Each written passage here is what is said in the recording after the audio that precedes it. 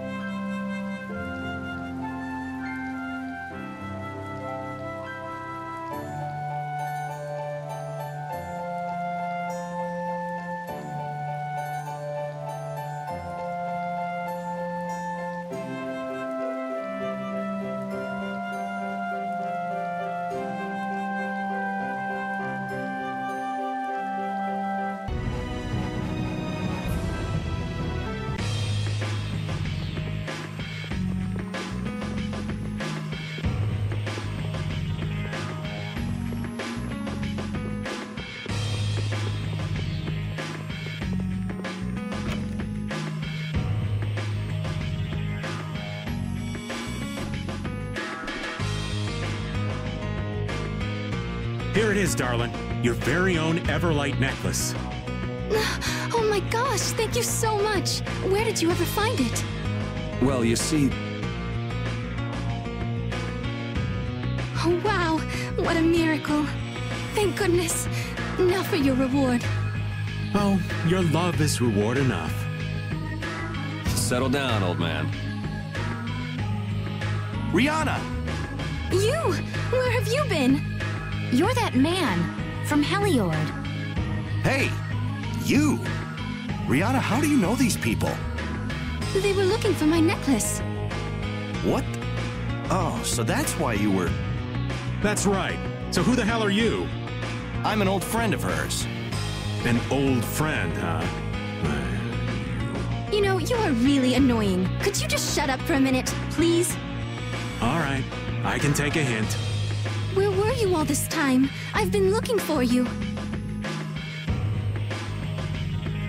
I've been out looking for your necklace. The necklace that you said was a memento of your father. But I couldn't find it. Don't worry. There's a reason that I wanted to find it myself. In the end, I had to get some help from these people, but... I wanted to be the one to give you this, as a symbol of our engagement. Huh? Engagement? You did that for me? I think we should be on our way. Oh? But what about our payment? Consider it a wedding present. Right, Karol? He's gone. Huh? He was right here a moment ago. Maybe something came up again. Hey, old man, let's go. Huh? Oh, right.